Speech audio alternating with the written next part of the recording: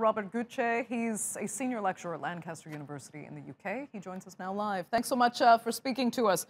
Uh, let's begin with the immigration issue and Trump saying he plans to block all of it. Twofold question then. I mean, do you think that's actually a prudent step at this point? And will it honestly, you know, protect American jobs or just kind of provide a scapegoat for massive unemployment?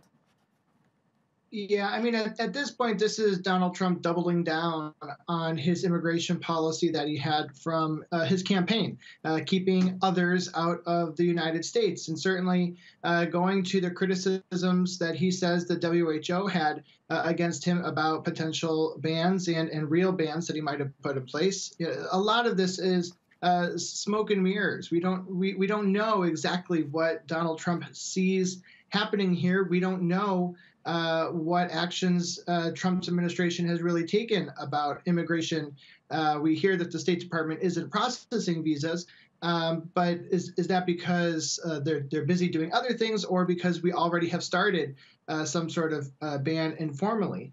this is a campaign move as much as it is something that he thinks will actually uh, stop a pandemic from from spreading in the United States, and it does diffuse uh, the the conversation about these low low wage workers uh, trying to protect jobs uh, for Americans that aren't uh, good paying jobs to begin with. The the unemployment rate uh, is really something that is, is scary for people who are unemployed, but a lot of those people already were underemployed. And, and so this uh, mucks, uh, mucks up the water even more so that we can't talk about a lot of the social strife that has led to the, the degree of uh, struggle that uh, is right. being faced in the country.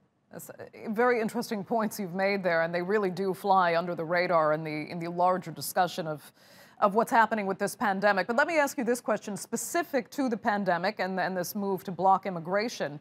What about healthcare workers? I mean, a number of them are brought in from developing countries, but highly trained. They are desperately needed right now in the United States. Has there been any provision made to make sure that they are allowed to stay in and come in if necessary? Well, you know that's certainly not something that's come from that that tweet and the conversation uh, since then. I mean, this is an issue that uh, is faced in the United Kingdom uh, as well, with so many uh, NHS workers being from outside of the United Kingdom, uh, and yet policymakers wanting to uh, keep America or Great Britain great or make it great again. this is this is a concern about how we treat workers in a capitalistic system. Um, and we're concerned also about the health of these individuals. Uh, are they getting the personal protection equipment that they're that they're needing? No, that's the answer we're seeing in both nations. Uh, and how is that being distributed across people who are from a particular area and are uh, guests coming into the country or who are right. legitimately right. in the country? Uh, Robert, let me ask you one final question. Uh, just looking forward, you know, as far as the U.S. social and political dynamics are concerned at this point, they were already polarized. We know that.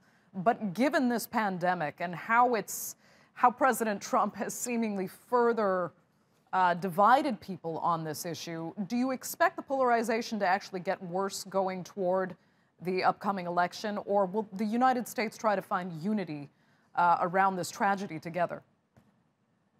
Well, we're not seeing movement toward unity. I mean, even within the Democratic Party during their primary season, uh, you know, they they pushed out um, a left-leaning uh, Bernie Sanders for a centrist, uh, and, and, that person's divisive uh, on the on the campaign stage as well. We're seeing people who are turning to religion and faith um, but we're seeing that as being a, a, division as well. People saying that their constitutional rights are being infringed upon uh, because of a tyrannical government that maybe they actually voted for.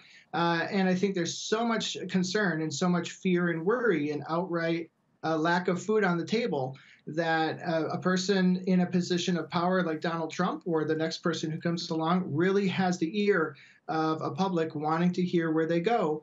Uh, and that could lead to very drastic changes in policy and social life in the U.S. Okay, Robert Gutsche, thank you so much for joining us there. We appreciate it.